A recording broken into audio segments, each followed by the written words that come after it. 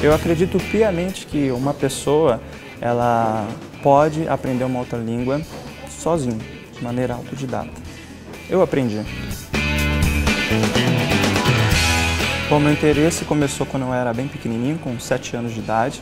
Eu já gostava muito já de estudar outras línguas, inclusive cultura, principalmente a língua inglesa, eu adorava os desenhos. A língua japonesa, depois, mais para frente, quando surgiu meu interesse, foi através dos quadrinhos, é, do desenho, dos filmes. E depois ali, mais para frente, quando eu tinha um tom de uns 11, 12 anos, eu tive a vontade de poder falar de Jesus para essas outras pessoas. E como eu iria falar de Jesus se eu não sei falar a língua deles? Né? Então, aí eu comecei a migrar aí, né, emergir no mundo da, das línguas. Eu comecei a frequentar uma escola de inglês. Depois de aprender a língua inglesa, ali em torno de cinco anos que eu estudei na escola, eu comecei a estudar com um professor particular outra língua e depois eu decidi começar a estudar sozinho.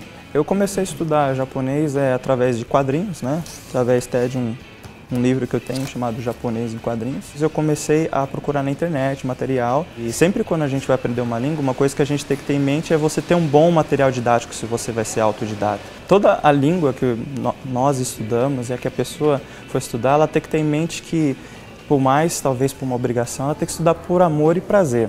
Então, desde pequeno já tinha já esse prazer de estudar língua e imergir no mundo dessas línguas. Então, é, eu estudei inglês, falo inglês com fluência, é, apesar de que toda língua é um processo, até mesmo português, nós não podemos dizer, ah, eu falo é, português com fluência, porque nós tem, sempre estamos estudando, mas a língua inglesa, a língua japonesa, a língua espanhola, agora estou estudando aí a língua alemã, tenho conhecimento também de, da língua italiana, sou descendente italiano, e tenho conhecimento para leitura aí, né, o instrumental de o hebraico, né, o grego e também o sueco. E agora é, também um, vamos estudar como minha namorada é estrangeira, vamos estudar um pouco de russo também.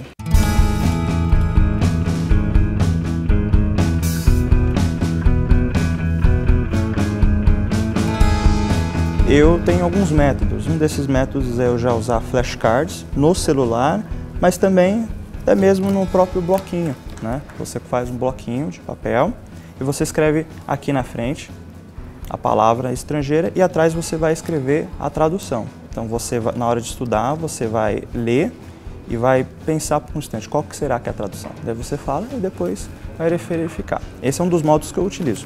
Eu utilizo muito aplicativo também de celular. Seriado também é uma, uma, uma boa opção para as pessoas aprenderem uma outra língua. Filmes, é, música, você está comparando a questão das letras né, também. E todas essas formas elas contribuem para você estar tá tendo um bom desenvolvimento na língua. Tem site inclusive que as pessoas entram lá, você ensina a sua língua e em troca a pessoa ensina outra língua. É uma ótima maneira de você estar tá aprendendo uma outra língua. Você usar o meio social, ensinar uma pessoa e essa pessoa ensinar para você.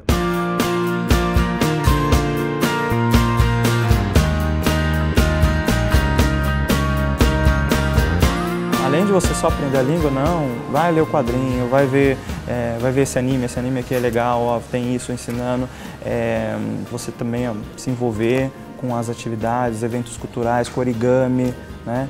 Tem muitas coisas, né?